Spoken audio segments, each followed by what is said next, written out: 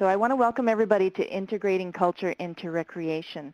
Um, this has been a great uh, webinar to put together because I find it so important and um, also with my work across Canada with the different communities, it has been coming up more and more where the youth are, are wanting to, to know more about their culture.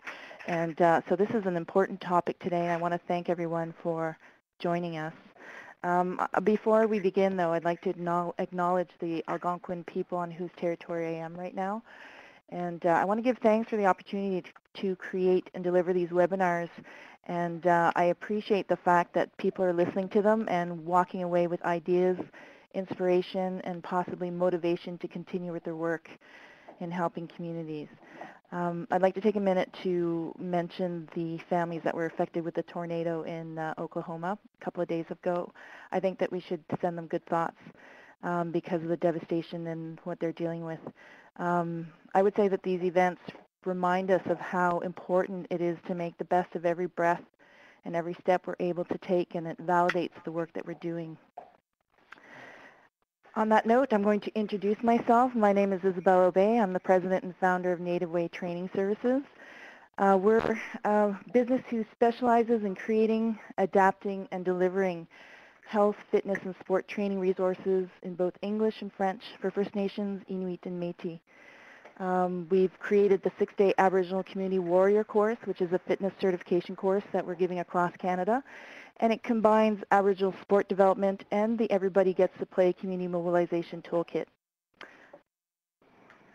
To put together these webinars, we need a team. So I'd like to invite Jennifer Pelte to speak about LIN, LIN's um, the Leisure Information Network's role in uh, producing the webinars. Thanks, Isabel.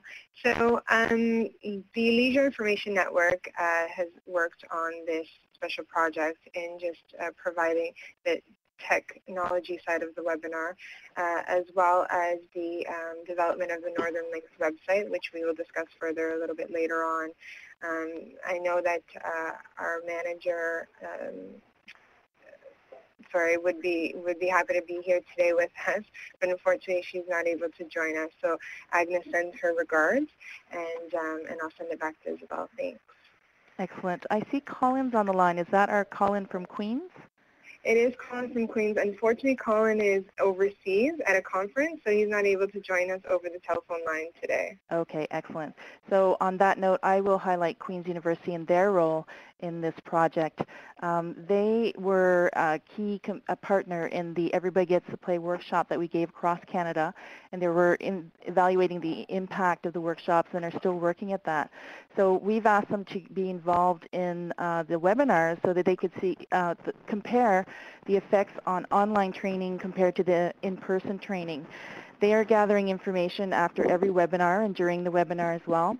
And uh, they would greatly appreciate if you could participate because that helps us determine what communities need to, uh, in, in, regards of support to, uh, to help their communities a little bit better. Um, if you participate in the evaluation, you have a chance to win a $25 gift certificate for Walmart. so I strongly encourage you to help us and, and uh, fill out the questionnaires. Uh, lastly, but not least, uh, I'd like to highlight CPRA, which is Canadian Parks and Recreation Association. CPRA exists to build healthy communities and enhance the quality of life and environments for all Canadians through collaboration with our members and partners. Among their goals are to communicate and promote the values and benefits of parks and recreation, respond to the diverse and changing needs of members, and provide educational opportunities such as this one. I've been working with Canadian Parks and Recreation for Aboriginal Services um, for about two years now, a little bit over two years. And I have to say that it's a great organization and they really care about making a difference.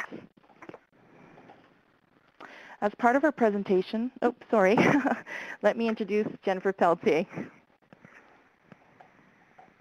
Jennifer?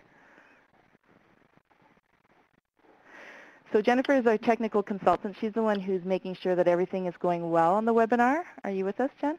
I am. Sorry about that. Okay. Um, so today's a little difficult, right? I guess after the long weekend and whatnot. yeah. Um, but I'm here definitely. So just as a note, as we go through the uh, the presentation today, if you'd like to join us and uh, give us your take via telephone, please don't be shy. And uh, to unmute your phone lines, all you have to do is pound six. And then if you'd like to mute your phone lines, all you have to do is star six.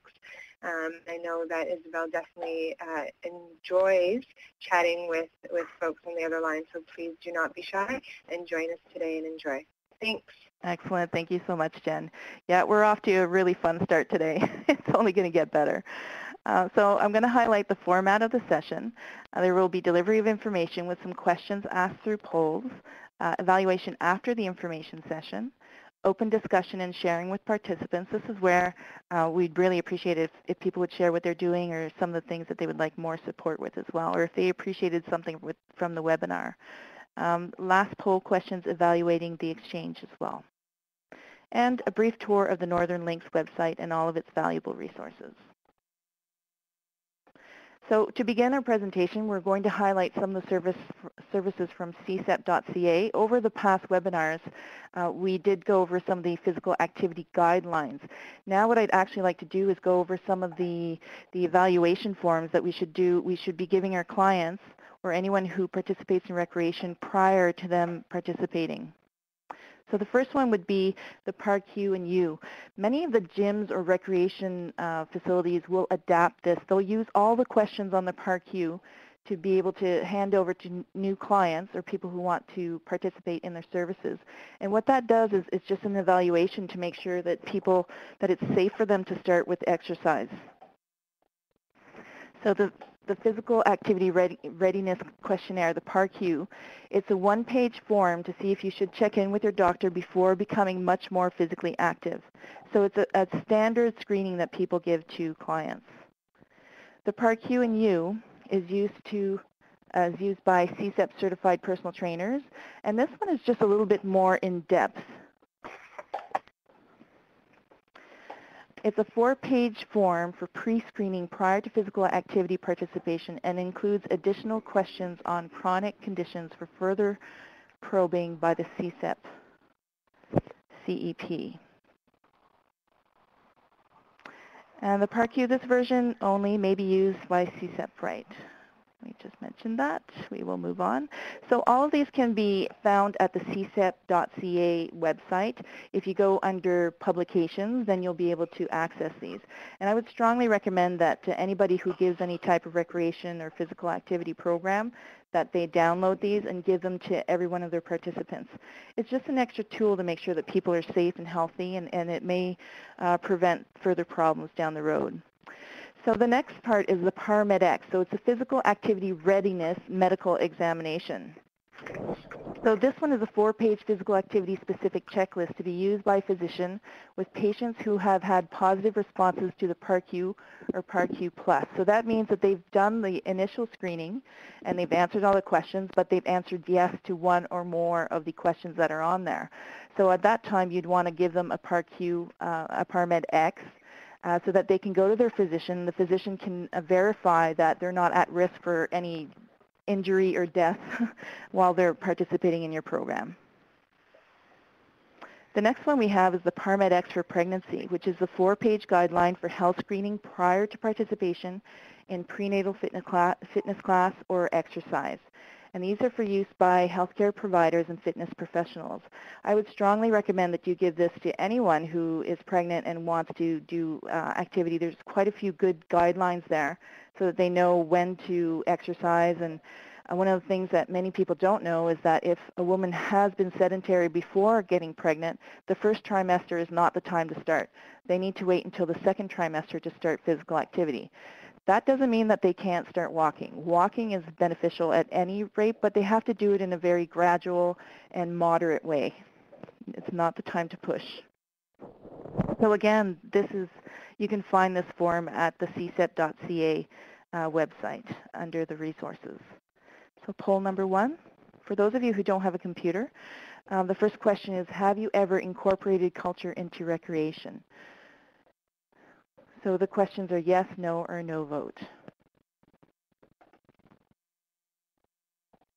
And 100% answered.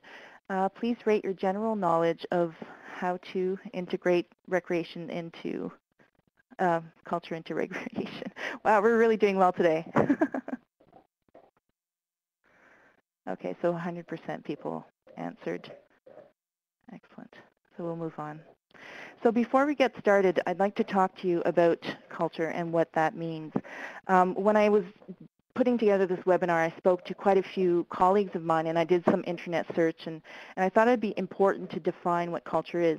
So one of the, the definitions that I found, the first one, was um, culture is the characteristics of a particular group of people defined by everything from language, religion, cuisine, social habits, music, and arts. I thought that was a great definition, but then I went further to find another one. So culture is a word for people's way of life, meaning the way they do things. Different groups of people may have different cultures. A culture is passed on to the next generation by learning, whereas genetics are passed on by heredity. Culture is seen in people's writing, religion, music, clothes, cooking, and in what they do. The concept of culture is very complicated, and the word has many meanings. So the word culture is most commonly used in these three senses excellence of taste in the fine arts and humanities, also known as high culture, an integrated pattern of human knowledge, belief, and behavior, and the outlook, attitudes, values, goals, and practices shared by society. Now this would be what we're going to be talking today.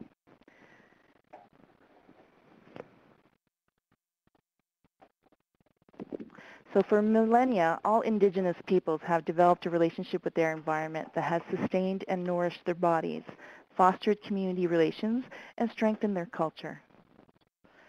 Culture and recreation work in many ways to help build cohesive, empowered, and active communities. Combining these creates a winning solution to many of the health and social challenges our communities face today. Recreation is one of the best ways to get people to start working together towards a common goal where we don't talk about politics, hopefully, um, and we can have fun. So it's a roundabout way to get people to work together and, and start interacting in a way that is um, non-political, as I mentioned, non-judgmental. Um, and this is one of the most important things that we can give our communities today with everything that is going on at this point in time with the, the political aspects of the government. I don't know more. Um, our youth who are starting to ask more questions. Integrating the culture and bringing it back into physical activity is probably one of the best ways to make people feel good again about what they're doing. Manchester Metropolitan University's Arts and Health Programs research study found that painting, dance, music, and storytelling can measurably increase our psychological well-being and lower levels of anxiety and depression. Known as the Earthkeepers, indigenous peoples play a key role in conserving flora, fauna, and other biological resources. So adding these teachings to sport and recreation can only help in restoring balance in our communities. I, I, those who know me well know that I have a special place in my heart for the Inuit people. Um, the Inuit love competition and sport as much as anyone. Sports around the world unite people in friendship and friendly competition. In the case of Inuit Games, these were born from two different needs.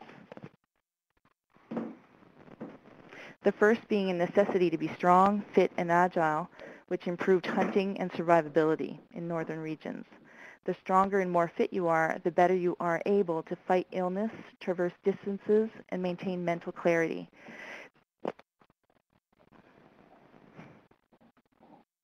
The other need for many of the games were to keep us entertained during those long hours out on the land, especially during the periods of prolonged darkness. All of this information was found on the OttawaInuitChildren's.com website. I would strongly recommend that you go visit that website.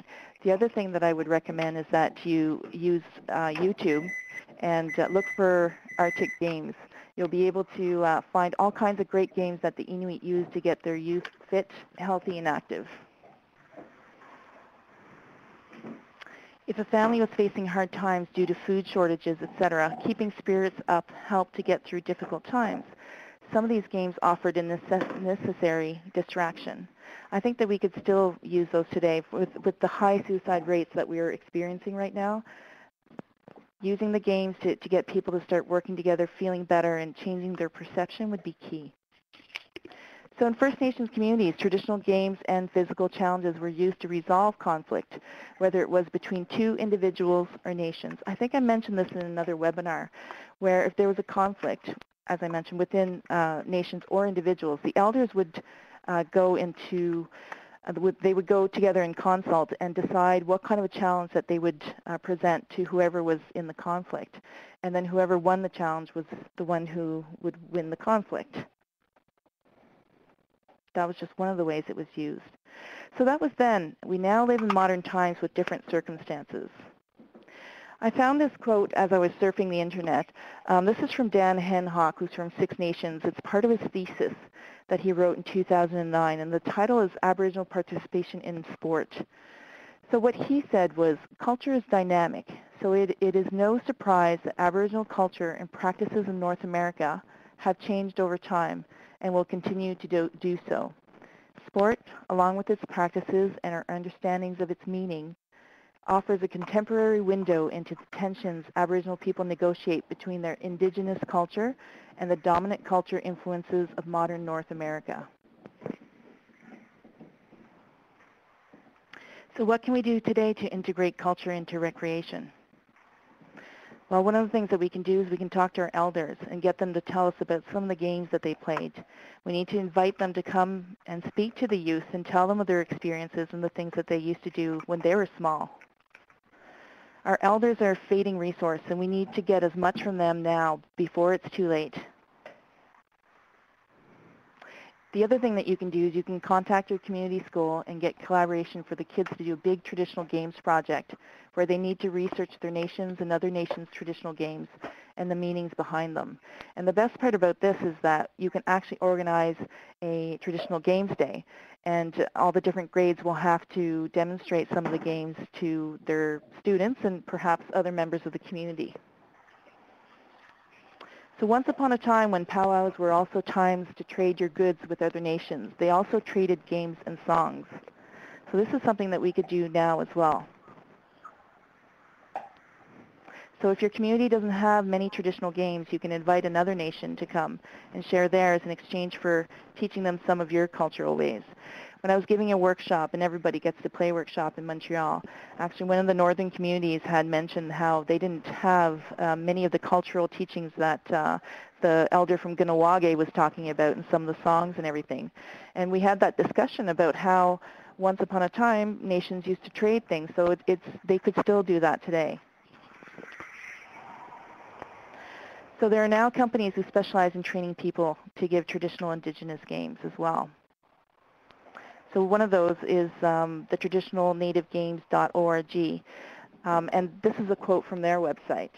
Traditional games, years of recovering native games have resulted in such remarkable wisdom about Indian cultures and their survival here in the Americas.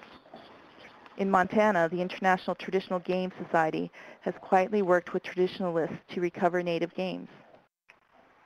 The recovery shown, has shown preservation of spiritual ties community land, and place that was reflected through laughter, joy, and play. The recovery of a game, whether for adults or children, involved season, nature of place, values and purposes, and ties to honor and spirits.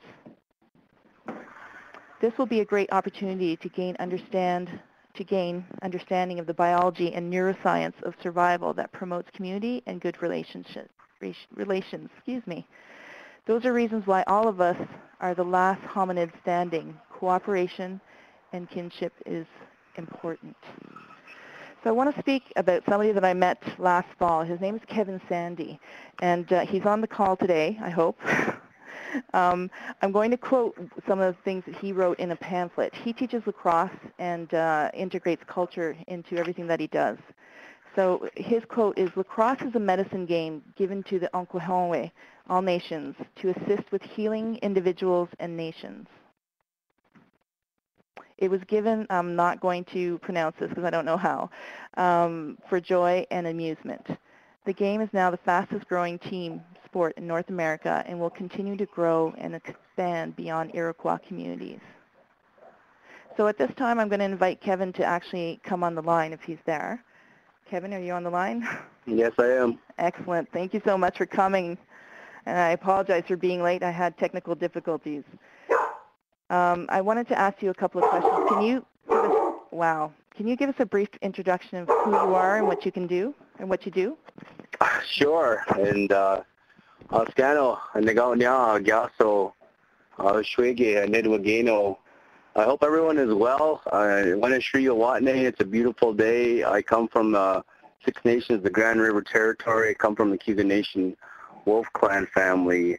And what we do is is as I guess as a group, I work with a group of collective individuals, uh, guys and girls alike, and we actually are involved in planning, facilitating of uh, traditional games. Um, Dewao got Jigwais, lacrosse being one of them, and also athletic training, supporting communities with um, startup programs, uh, student athlete opportunities, and instructional clinics. And that's what we really do. Like we're a leader. I, I believe we're truly a leader in terms of what we do.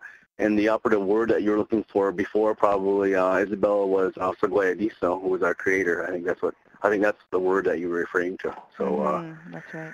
Yeah, and and that's what we we really exist. Our whole our whole mission is really to respect and honor our games, and that's why we do what we do. Is because it's it's everything's intrinsically is, is within us, is within us, like all of our teachings, all of our ceremonies, all of our songs, all of our dances, and all of the all of the activities that that we traditionally used to do still carry over into into we'll say contemporary society. And, and one of the big things is that we go out there and provide I'll say edu edu awareness of uh, what of what some of those games are and, and reviving them because in some communities that we found, like in traveling throughout North America, we've been anywhere from Mi'kmaq communities to Yurok tribal nations in California, up in uh, geez, BC, down in the states, and kind of all over. So, what we what we found is, is there's just been um, I guess a a loss of uh, what those games are. But when we actually talk to more and more people, some of the older people and people who've been around the community, that hey, I remember playing this. Hey, I remember playing that. I remember playing this. I remember playing that, and it's really cool that we're doing that. So that's just a brief introduction into into what we do. Mm. So that's awesome, Kevin. Thank you for sharing. So how long have you been doing this? It's funny you asked that question. Uh, since time immemorial, well, I can't know. Like literally, probably probably all of our life, all of my life, and, and just in terms of in terms of what we do with our Haudenosaunee uh, program, we've been doing it for the past six years. I guess in more of a formalized structure and more of a formalized setting, because we we go into schools, uh, we work with recreation departments, we work with First Nations communities, friendship centers, uh, urban Aboriginal groups, and all lacrosse clubs, and it's it, and it's a whole. We run the whole gamut, I guess, in terms of who we provide. And well, for us, it's really the young people, kids the, under the ages of uh, 17, and, and once they start walking and uh, can carry a stick in their hand or can do what they want to do, then then we try and work with them. So. Wow, that's excellent. And if I asked you, how important would you say it is to incorporate culture into recreation? it's the essence of who we are. I, I really, I truly believe, in, and that's why I said our vision and mission is to respect and honor our games because from our games, uh, they were used for different purposes. Earlier, you mentioned the whole aspect of uh, of settling disputes, like a peaceful means of settling disputes. That's why some of our games are still played to this day, and and even our game that I say that we that you currently know, now everyone now knows as lacrosse. That was one of its purest intentions was a peaceful means to settle disputes. And even when we go around and talk to communities and uh, we talk to them about where the, where the roots come from, and, and to me, it's just it's so important, even in some of the artwork that that that we do and, and sharing and trying to, we'll say, revive like wooden lacrosse sticks. Um, I just think about a project we're doing down for Dufferin Peel Catholic District School Board about um, hands-on experiential. And I think it's really important that that individuals understand understand that we all have our own games. We all had a stickball game. If you go back and and and look at, I'll say probably all of our all of our nations that we all had games, and that's one of our whole intent is to bring back some of those games because some of these games are pretty they're pretty low cost. They mm-hmm. you don't have to go out and buy a lot of equipment. You can go in a bush and cut down a tree and play double ball and do your own kind of thing, and, and that's and that's the whole beauty of it. And I think it's just extremely important that that we help to instill that within the within the kids and the younger generation. And like just to quote like something from when I was living in British Columbia, one of the one of the ladies out in um in uh Cheam, she's from Cheam and Seabird, she works at Seabird, she said we did a session out there and perhaps the greatest result was in seeing the cultural values instilled in the youth as well as increased confidence, self-esteem, health, and wellness. And if we can combine all of that, to me, then like we're totally, totally doing our, our jobs and, and transferring our knowledge, our gifts, our skills, and our abilities to the younger generation. To me, that's what it's all about. Absolutely, and I agree 200%. And I think it's a great venue for us to teach healthy competition because at this point in time, there's a lot of competition going on, but it's not always healthy. So through sport and, and recreation is probably the best way to, to be able to promote that and, uh, you know, and, and teach people how to win and how to lose, right? For sure, and and I just think about even this event that that our community is hosting this weekend in Six Nations, of the Grand River Territory. Actually, my colleagues are on their way out now to the Buffalo Airport to pick up uh, Ned Zitsika uh, from uh, from Oregon, mm. and they're coming to our community. But they're coming to our community to play games, to be educated about a culture, teaching, ceremony, songs, and, uh, and also to participate in the in a in a friendly, uh, we'll say fitness-oriented uh, uh, friendship tournament that we're hosting in our community. It involves 12 teams, boys teams, girls teams. Then also as well, we have box teams that are playing in Ohsweken at four different venues, the men's, the girls, the women's. And there's 50 teams that are going to be playing in our community this coming weekend. Mm-hmm. There's close to a thousand athletes, uh, young kids, uh, who are going to be here. That's and to me, that's what really what it's all about is promoting is promoting friendships because yeah. and and fitness and just showing people the the the truly wonderful lifestyle that we are beautiful, beautiful people, Onkwehonwe people, and that mm-hmm. we have so much to share with everyone. Right. And I agree, and and it basically it highlights what I was talking about earlier about exchanging between different nations and communities. So I'm so happy to hear that you guys are doing that this weekend. So if I ask you another question, um, what would you say the benefits are to the individual when you incorporate recreation? You're working with these athletes and you're teaching them um, cultural teachings in the recreation teachings. What do you, how do you think that benefits the individual? Increased knowledge, mm-hmm. confidence. Yeah and probably a, a deeper they're better, they're better yeah they're better understanding i guess of themselves they're yeah. and i wrote something down like it's just like their their sense of purpose like and and, i think to me that's that's really what it's all about is that it gives them a sense of purpose and direction because everyone plays something for for a reason some of us may have played elite level or professional some of us may play recreational, but we all get out there for a reason, and that's for the overall well-being of ourselves and keep us balanced. And to me, that's that's one that's one of the key things is to help keep uh, our people balanced and, and in focus. So that's excellent, and then that trickles into the community, right? Because if, if we have healthy individuals who are proud of their culture, then that affects the community in a positive way as well, right?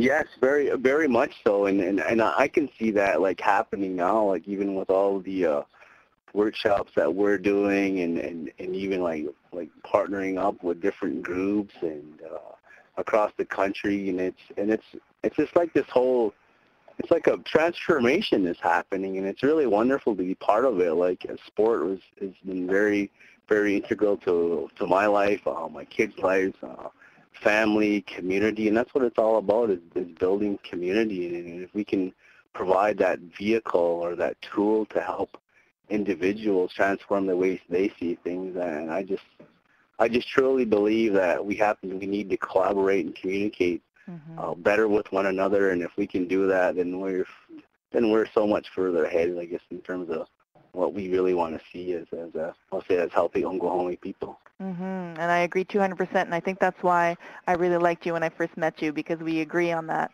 I think that it's time that everybody starts working together. And if you look at the Olympics, the Olympics is the only time where every nation comes together for one cause. And we have to pay attention to that because the answer was right there.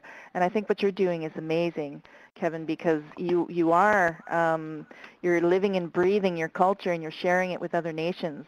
And I think that's amazing because you're investing in the youth with, uh, with everything that you're doing.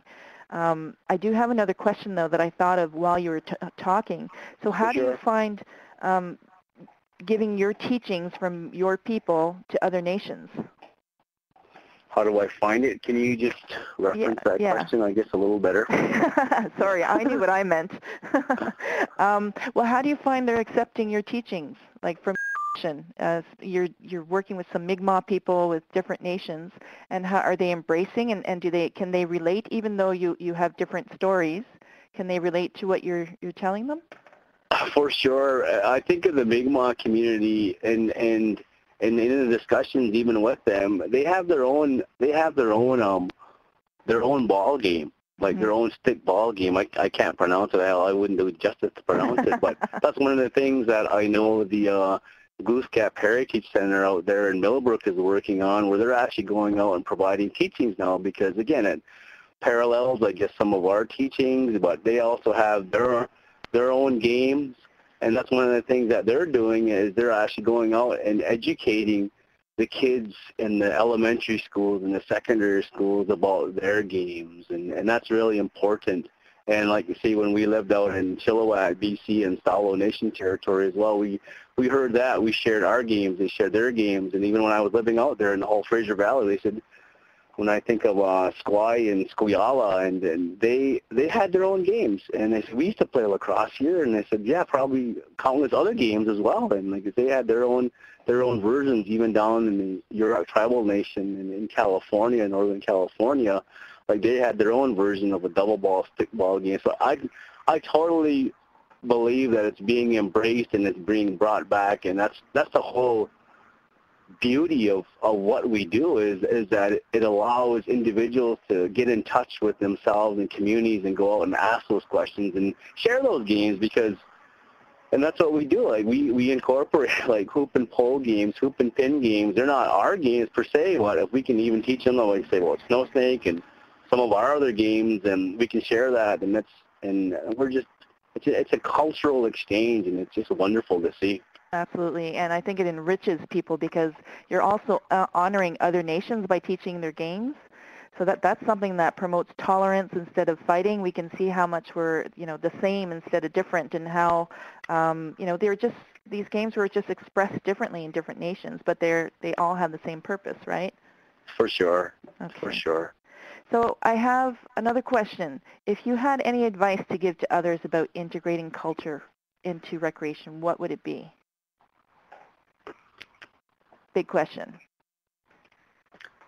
I guess my advice would be uh, go back and, and talk to the people because if you talk, go back and talk with the people, they they understand everything about the land and the resources and everything that is that that exists within your environment that allowed them to play the games and whatever activities that they needed to do. But we won't do that unless we actually go out and talk to one another. And it's great that now we have modern technology we have these iPhones, these Blackberries, but I think even in, a, in essence they don't go far enough because we've become too dependent on some of them now. Mm-hmm. And we have to go back and start knocking on people's doors and start sharing the stories with one another. And that's what I was, I was, I was led to believe if you got something to say, my mom taught me this, then you need to get it out and you need to say it. And that's why I really, I'm really truly happy that you've actually asked me to participate because communication will break down so many of those different fundamental challenges that we have, I guess, as Onkwehonwe people. And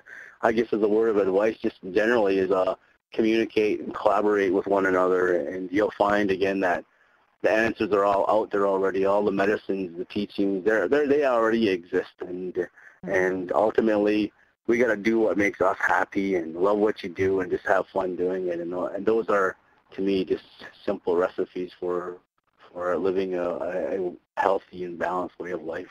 Yeah, that, that's very valuable advice. So miigwech for all of that. Um, how can people get in touch with you, Kevin, if they want to invite you to their their territory? Oh, you can call you can call me two two six nine two two nine zero nine seven. I got my BlackBerry everywhere. I talked about technology, but also we have a uh, we have a uh, Facebook page as well. dot com slash Iroquois dot lacrosse dot program, and they can get in touch with me, touch with me that way. Like I say, and it's going to be a hectic next 10 days, but I'm totally looking forward to it because, like you say, we have close to a thousand athletes coming here to participate in in some fun activities, and it's and it's awesome because even the girls are going to be doing some wonderful events and promotion, and that's that's what it's all about. I just want to be able to. The games, all the games have been good to me over the years, and it's just our way of giving back and trying to help mm-hmm. like you say, promote physical activity, active living in, in a good and fun way. Mm-hmm. And that's awesome. And I bet there's going to be a great social too, right? oh, for sure, definitely. And that's true because the Six Nations Ashley girls field lacrosse team are putting on a supper and social at, the uh, community hall in Six Nations this coming weekend, and, and a lot of the teams are looking forward to that very much so. And and that's that's the whole thing too is that we want to also promote the Haudenosaunee women's team who are competing at the World Cup this this weekend. Promote our our community and the wonderful sports facilities. we Built two new a uh, six lane rubberized track here, our sports field, and it's just we just want to put them to use. Yeah, that's excellent. And thank you so much for sharing all that with us today. I think it was valuable advice to hear uh, what's actually going on and how um, culture is being integrated into recreation live and, and real from uh, from you. So miigwech again for everything that you said. And we're going to put your contact information on the side um, so that everybody can see it. And, uh, and I think that's it. Did you have anything else you want to add? No, I just want to say uh, Nyawagoa. Um, uh, many thanks to to to you to uh, for asking me to participate. Uh, I, I'm just I'm just truly honored and, and truly honored to um, be involved in, in, in doing my part and, and to help to help I guess make a difference. And everyone out there who's who's either online or listening, you are making a difference, and, and that's and that's really important to uh, to to honor and, and respect that. Mm. Well, Nyawan to you, Kevin, and uh, you know I'm going to be in touch with you. We've been talking about uh, doing some stuff together, so um, I look forward to, do, to doing that because I love the way that you uh, communicate your passion, and you're there for the right reasons, and, and we need to uh, work together. So I look forward to doing that. Very much so. Yeah, you have yourself a wonderful day and a wonderful week. Okay, miigwech. So I'm going to continue okay. with, uh, with this presentation.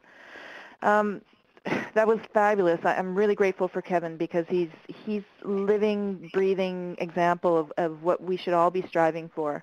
And uh, he's got his family, he's got his young kids, and he still gets out there and, and he does it for the youth, and he does it for the sport, and uh, he's making a difference.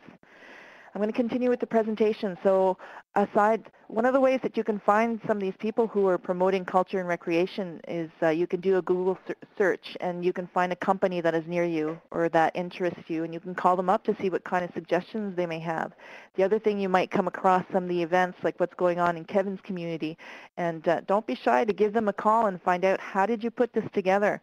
What were your challenges? What were your solutions? How did you, um, you know, start? And uh, can I have some of the information and can I call you if I have some questions? So we can't be shy to, to start reaching out to each other. Um, obviously, you want to make sure that uh, the person that you're dealing with is a reputable person, but that's, as we know, pretty easy to find out. You just have to ask a couple of people and you can get people's um, history pretty easily. Another way that you can integrate culture is uh, you can bring in the medicine wheel. Um, this is something that I do fairly often, and it's very simple. I don't give teachings. I'm not an elder, but I do use it in everything that I do. Um, so what I, I like to do is I have people evaluate their physical, emotional, mental, and spiritual balance and see where they rate and how, you know, and it could be whether it's in their day-to-day or their life in general. And just taking that time to do a self-evaluation can bring us a lot of insight on how we can balance our lives a little bit more. So I do this in just about every workshop or training that I do, and, and people really find value in it. And um, I think it's something that we need to do ongoing as community leaders as well. Because if we're not balanced, it's harder for us to bring about balance into our communities. So regardless of how you choose to do, uh, to do it, to integrate culture into recreation, getting the original people to connect back to our roots and history can only help restore pride and recognition of who Indigenous people are and our role as earth keepers. So I wish you much success in your journey, and as usual, if you have any questions or if you want to have some more information about the services that uh, we offer, Native Way Training Services, or if you want to get in touch with Kevin, uh, please feel free to uh, contact me or anyone that's on this call.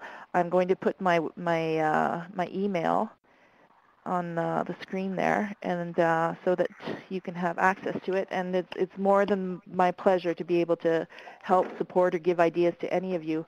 Um, at this time I'd also like to invite other people on the call to find out what you guys are doing in your community um, to integrate culture if you have ideas or questions. So if anybody has any question or comment, now's the time.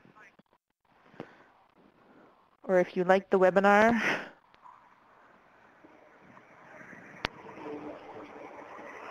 So uh, to unmute your line, I believe it is pound six.